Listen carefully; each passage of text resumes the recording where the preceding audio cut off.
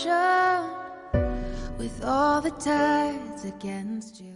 I am Daenerys Stormborn, of House Targaryen, of the blood of old Valyria. I am the dragon's daughter. And that's the face you choose.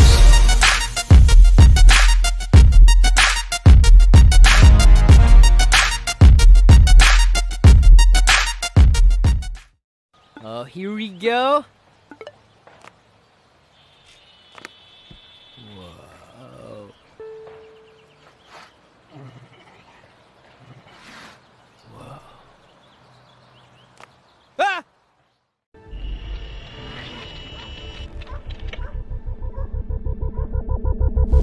Bye.